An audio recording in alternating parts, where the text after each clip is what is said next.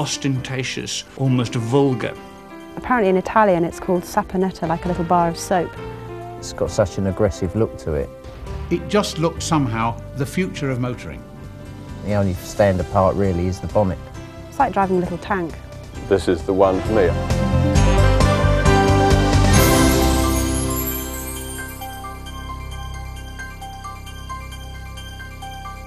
The story of BMW starts in the 1910s, before the First World War, when a company was set up in Munich to build aircraft engines, military aircraft engines.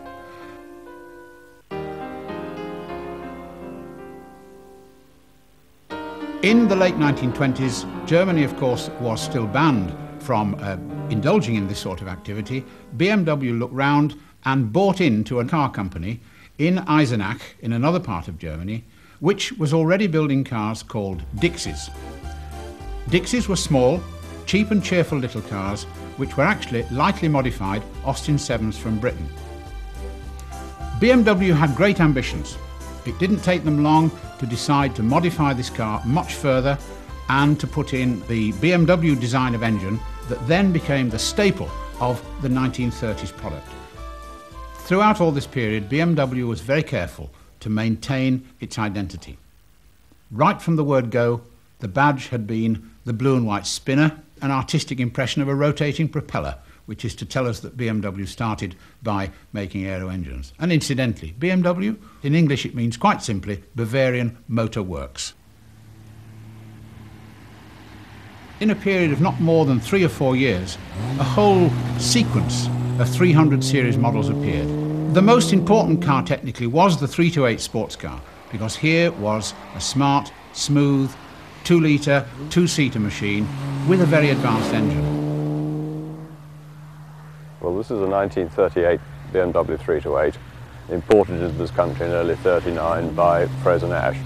It is a pure BMW. The only Frazer-Nash input was in fact put their own badges on it and then sell the car in this country under their name because Frazer-Nash were a, a, very noted manufacturer of bespoke sports cars from the late 20s through into the 30s, until all of a sudden in 1935, this strange little manufacturer from Bavaria came along called BMW and suddenly started beating them at their own game. They rapidly concluded that they could never compete with it, and the sensible thing to do was to take the agency. traditional Frazer-Nash owners switched across to the BMW product because it was such a huge leap forward in all engineering terms of motor car. And the pièce de resistance, certainly as far as the 328 was concerned, was a really brilliant piece of engine work that produced a hemispherical head engine that develops a lot of power, very deep breathing engine, really an awfully long way ahead of its day. I think one of the main attractions of the 328 was that it looked very different from the average mid 1930s sports car. 1930s MG, for instance. Very square rig, upright front radiator grille, separate headlamps. Suddenly, here comes the 328, flowing front wings, smooth and rounded front end. It just looked somehow the future of motoring.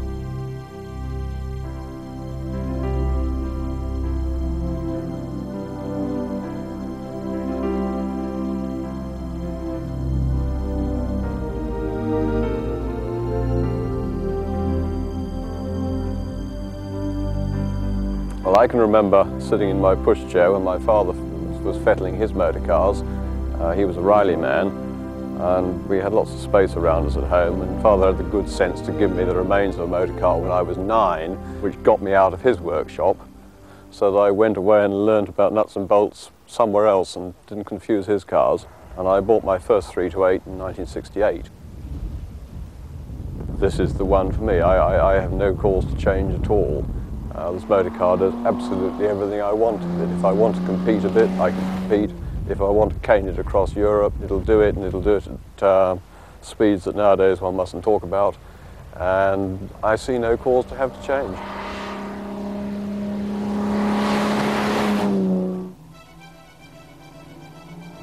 By the late 1930s, the whole idea of motorsport supremacy in Germany was all important. They entered specially streamlined 328s for an event in Italy called the Mille Miglia in 1940, which was a year after World War II started.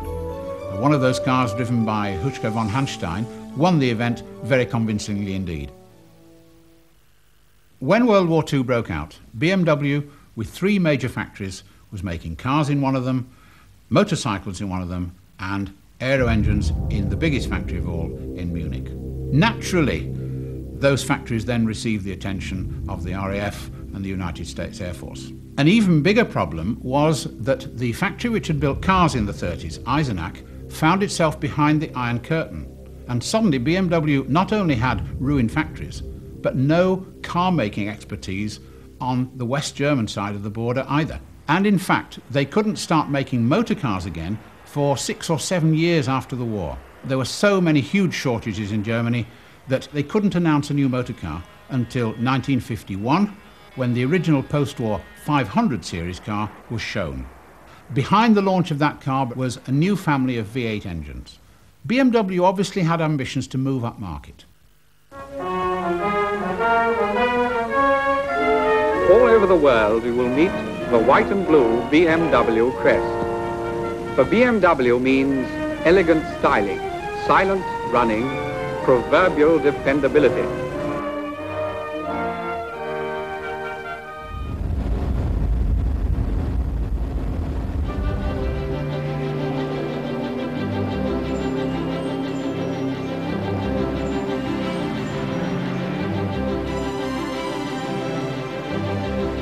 My car is uh, a 1957 BMW 507. It actually came to me after I'd tested one of the works cars at the Hockenheim uh, racing circuit where I'd been riding in the Grand Prix.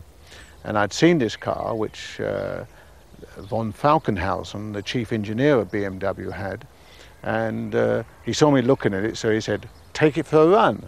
So uh, I took it for a run and thought, this is rather nice. I, I, I, can imagine myself whisking over the continent between Grand Prix in something like this. So I thought, well, how do I pay for it? That's the next thing. Well, Agusta, Count Agusta, who I rode for, had suggested that he ought to get me a present because I'd won him his first 500cc motorcycle championship the previous year. And so I thought, well, dare I ask for a 507 BMW? Well, I did and uh, he did in fact contribute the majority of the uh, payment for it, which worked out about £2,700.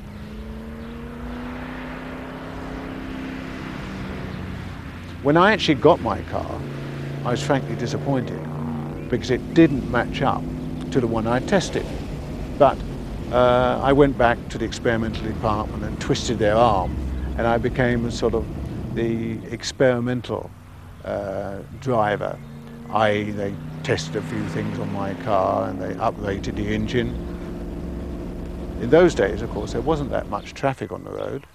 You used to be able to go along and 120s, uh, 130 even, wasn't dangerous. Uh, you didn't come across too many traffic jams and I used to I think, average 70 mile an hour door to door from Milan to Bromley uh, with no trouble at all and no hassle and I think about 22 miles to the gallon. So, no, it, it was, um, it served me very well.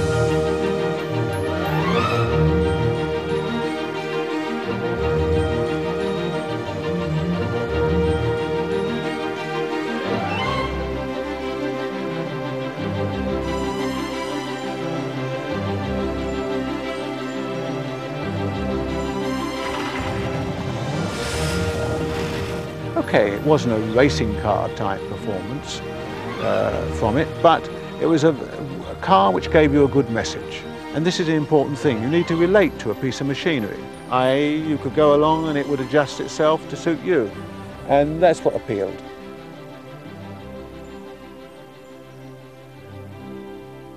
It was a very attractive looking car, but it wasn't fleet enough. It wasn't nimble enough to catch the attention of sports car buyers. So it only sold in hundreds rather than in thousands. And I think at this point we can say BMW began to stumble. They decided to make smaller, cheaper motor cars in bigger numbers. As a complete change from the 500 series, took out a license to build bubble cars. This was the Isetta. They were small, they were fine, and they sold in big numbers, but they weren't making money. After the war, they were struggling to find an image. This is shown most graphically in a range brochure of the mid 50s, which has a motorbike, a bubble car, the large prestige diplomatic cars, and finishes up with the exotic 507. And they weren't really sure which of these cars they were marketing most strongly. The crunch for BMW came in about 1959 when the company came perilously close to being closed down. In came some serious investors. Gentlemen, they said, you must start making middle-sized, smart, middle-class motor cars. And in 1961, a completely new generation of BMW was born. It established BMW in the company that we now know in the late 1990s. Once the BMW 1600 went on sale in the early 1960s, this signalled the birth of the modern BMW company.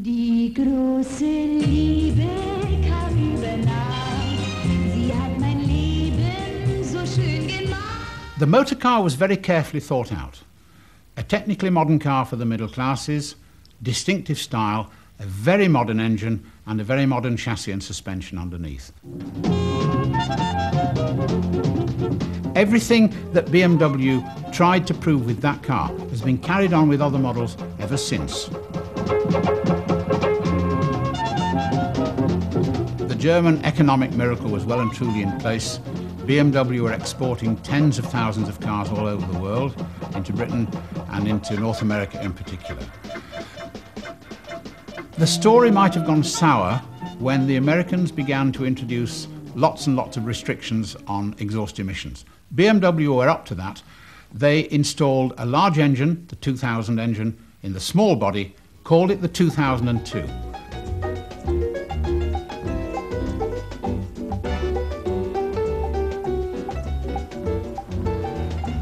I've always wanted a 2002. Um, I used to have a bicycle and cycle into uh, college, into the library, and every morning I used to see this 2002 parked in the library car park.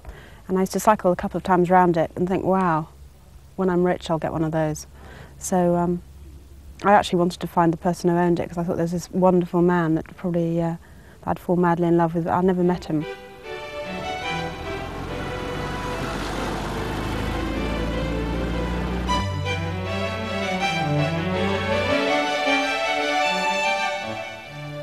I'd had a series of company cars and used other people's cars and different things, and I've never really bought a car of my own. So I thought, yep, hit the big 3-0. Got to get, got to be my own woman. Got to get a car that I love. I bought it because of the shape of it. Apparently in Italian it's called saponetta, like a little bar of soap. And if you think about uh, a child when they draw a car, and it's very sort of like that. It's a very simple shape. When I first got it, I couldn't believe that I'd got it, and I kept on looking out the window. And in fact, I, I woke up in the middle of the night several times and looked out just to sort of look at it, at the shape of it, and thought, wow, it's all mine, brilliant. In the 60s and 70s, BMW were much clearer about their image. Like the other German car, Mercedes Benz, they were very keen on presenting technical excellence, solidity, and safety. But unlike Mercedes Benz, they wanted to present glamour, they wanted to present speed and style. You're much more likely in their brochures to see cars in exotic locations, cars photographed for their own sake, whereas in a Mercedes brochure you'll always see them photographed to show the car technically.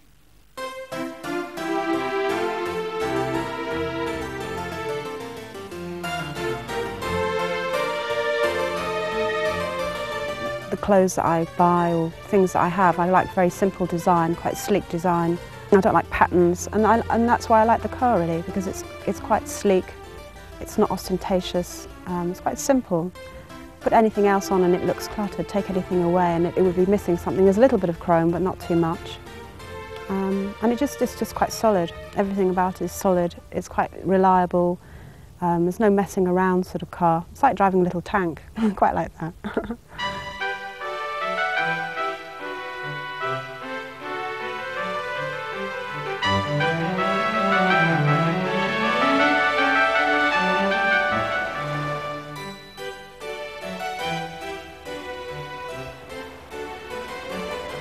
So I like, the, I like the design of it from the outside when I first set about buying it, but then now I've, I'm sort of inside it and using it, there are lots of things inside that I really like as well. I like the horns. There are four horns and they're all on the little arches around the steering wheel, which is brilliant. And I like the little quarter lights in the uh, windows because you can open those and it's just like having air conditioning. The sound of the indicators is wonderful. It's very soothing, it's very gentle, it's um, very sort of low and uh, it's also got a hazard warning light as well, which is, it just, you think, oh, it's going to stop, but it just sort of ticks through to the next one. I also like on the um, petrol cap, there's a little tiny, tiny little cover over where, and it's on a spring-loaded cover where you put the key in, and it's just really dinky. And every time I fill up with petrol, I really like just moving it. One particular day, this very beautiful black man in a double-breasted suit as I was waiting at the traffic lights, walked in front of me, stroked the bonnet and mouthed, very nice car, lady. so I fluttered my eyelids and waved and drove on, which I thought was quite nice. I was supposed to go from 0 to 60 in about 10 or 11 seconds. Um, I don't think I've ever tried doing that, but and I wouldn't let anyone try to do it anyway. But uh, you know, there is quite a lot of power in the engine. The 2002 people that I've spoken to on the phone kind of describe themselves as quite laid back, baggy jumpers, beards, you know, kind of take life as it comes sort of people. Enjoy life. They enjoy their cars, they're proud of their cars, but it's not, you know, it's not this sort of status thing. And a lot of the BM drivers, you know, they're kind of into all this badge society, whatever. And I think you can buy an M3 sticker as well, you know, pretend that you've got a car that's hand built. It's all a bit sad, and they're all kind of company boys. So I'd like to go to a car rally and to see that in action. Uh, of all the two, 2002 sort of in the corner, everyone enjoying themselves, and the rest of the BM Owners Club, you know, kind of out there showing it, showing off.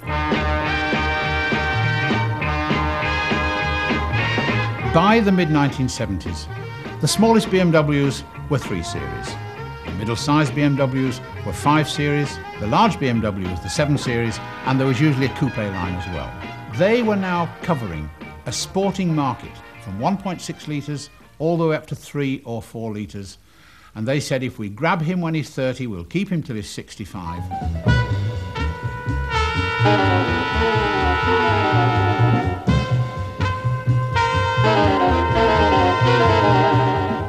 They've always been interested in motorsport, but towards the middle of the 1980s, it became clear that production car racing in particular was becoming very important for publicity. A new category called Group A was being introduced, and BMW said, we have to get involved in this. Not just to turn up, but to win in Group A racing. The result was the M3.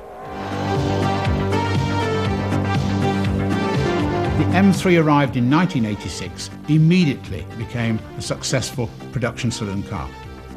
Fortunately for everyone, particularly the enthusiasts, in the next few years there was a running battle between BMW and Ford with the Sierra Cosworth. Each of the companies had its own particular trumpet to blow. BMW said, well, of course, we're winning races with a motor car that doesn't need turbocharging. And the M3 was just a superbly developed normally aspirated motor car that could win production car racing all around the world.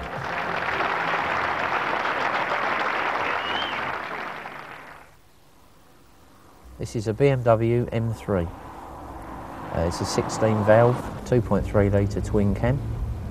It's made in left-hand drive only and was initially built as, for the purpose of racing. Although uh, to get homologated for racing, so many road cars had to be made. This is quite a lot different from the standard body body 3 series. The roof's different, the wings are different, the door's different. The only standard part really is the bonnet. This is the first of the M3s. There's other editions of it. It's got such an aggressive look to it. It's boxed arches, um, and the engine is it's just got a phenomenal engine in it. Such a small engine for the amount of power it puts out. In the late 80s, the yuppies were clearly a target market for the BMW M3. The brochures to feed this market were gigantic, ostentatious, almost vulgar.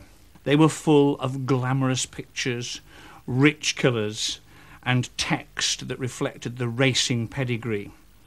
The whole purpose of these brochures was to impress and to seduce the reader into buying an M3 BMW rather than an, a, another equally ostentatious car. I'd seen the car advertised in a magazine, decided that now was the time to have one, the prices were coming right, packed the wife and kids in the car and shot off down to Weymouth. Um, looked at the car and decided straight away that, that I was going to have it. Went out for a test drive and the guy Mike, who's uh, had come out of the army, was basically trying to find out what I knew about BMs. Unbeknown to me, while I was out, the wife was being grilled on how well I looked after my cars. And then they decided that I was to be the suitable owner and that they would bring it up and deliver it to me.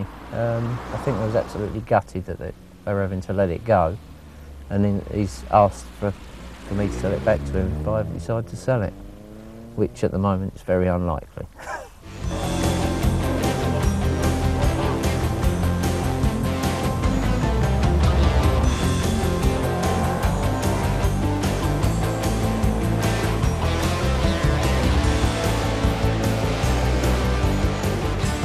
my daughter's uh, well two, two and a half now, and uh, she's into BMs as well. She's got her own little BMW pedal car, um, and can actually pick out my M3 in a crowd of crowd of cars, which is quite amazing, really. And even those Mummy's 318i.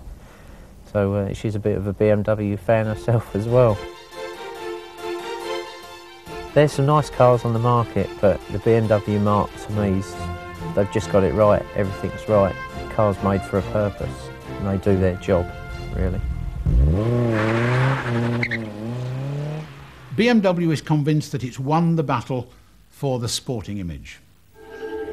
It has a complete range of cars. It has added a sports car, the Z3 sports car, of course.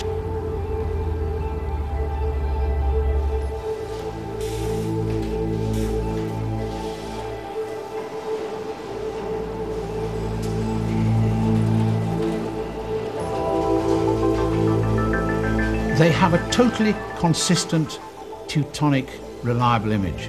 It's a wonderful image that the rest of the world wishes it could mine and use for its own purposes. But if you or I went out to buy a BMW today, we're buying an image, we're buying performance, and more than that, we're buying the ability to say to the world, look at me, I've arrived.